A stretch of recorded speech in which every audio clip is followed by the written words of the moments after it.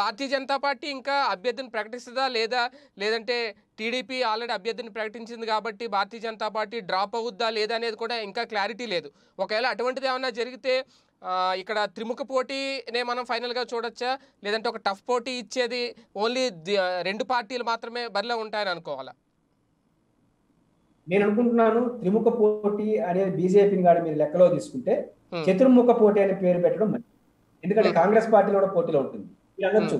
BJP కన్నా నేను ఈ రోజు అనుకుంటున్నా కాంగ్రెస్ కే ఎక్కువ ఓట్లు వస్తాయి. రేపు జరగబోయే బీజేపీ బరిలో దిగితే అంటారా?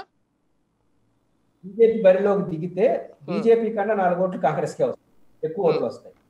కాబట్టి లాస్ట్ టైం కూడా రెండు వేల ఒకవేళ బీజేపీకి టీడీపీకి ఏమన్నా లోపాయకారిక ఒప్పందం జరిగితే? లోపాయకారక ఒప్పందం చేసుకోవడానికి ఈ రోజు రాజకీయ వాతావరణం ఎక్కడ అవకాశం లేదు. ఒకే ఒక్క అవకాశం ఏంటంటే బీజేపీ అభ్యర్థిని నిలబెట్టకపోతే. పవన్ కళ్యాణ్ గారు అభ్యర్థి నిలబెట్టకపోతే వాళ్ళకి పడే కొన్ని సామాజిక ఓట్లు అనేది తెలుగుదేశంకి యాడ్ అవుతాయి. అంతే. తప్ప బీజేపీ డైరెక్ట్గా తెలుగుదేశంతో వాళ్ళు పొరపాటున అవగాహనకు వస్తే బీజేపీకి చాలా పెద్ద నష్టం వస్తుంది రాష్ట్రంలో. కాబట్టి బీజేపీ అలాంటి తప్పు చేస్తుందని నేను అనుకుంటున్నాను. ఒకవేళ మీరు అన్నట్టు చతుర్ముఖ పోటీ అని అనుకుంటే ఈ మూడు పార్టీలు ఆ, వైఎస్ఆర్సీపీకి ఒక గట్టి పోటీ ఇస్తాయా?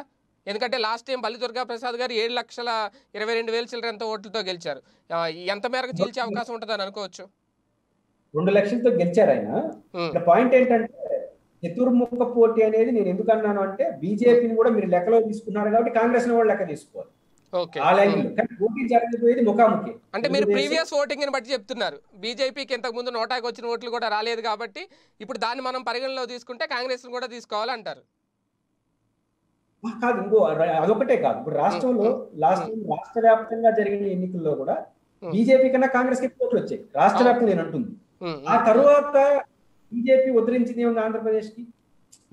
రాష్ట్రంగా చూసుకున్నప్పుడు ఆ తర్వాత ఏమన్నా కొత్త కొత్త వచ్చే కొత్త కొత్త ఇవ్వకపోగా అదనంగా ఏం చేశారంటే పోలవరాన్ని డైలాంలో పడేశారు. హ్మ్. కానీ ఈ రీత్యా చూసినప్పుడు బీజేపీ మరి డిఫెన్స్లో పోయింది. కాంగ్రెస్ పార్టీ గతంలో కన్నా బలపడకపోయినా దేశవ్యాప్తంగా రాహుల్ గాంధీ ప్రియాంక గాంధీ గారు ఉత్తరప్రదేశ్ సంఘటనలు ఇవన్నీ చూసినప్పుడు ఆ కాంగ్రెస్ మేలు కదా అభిప్రాయం ఊరికి ఒకరికి వచ్చి ఉంటుంది కదా. కాబట్టి మారిన పరిస్థితి రీత్యా చూసుకున్న కాంగ్రెస్ బీజేపీ కన్నా బలంగానే ఉంటుంది. కాబట్టి వాళ్ళిద్దరూ బీజేపీని పరిగణలో తీసుకుని బీజేపీ కన్నా నాలుగు ఓట్లు ఎక్కువ వస్తాయి కాబట్టి చతుర్ముఖ పోటీ అన్నాను కానీ. ఎటువంటి పరిస్థితి నా అంచనా ప్రకారం ముఖాముఖి పోటీ ఉంటుంది. అది వైఎస్ఆర్ కాంగ్రెస్కి తెలుగుదేశం. ఇద్దరికే. ఓన్లీ టీడీపీ వర్సెస్ వైసీపీనే చూడాలి మనం. అంతే అంతే.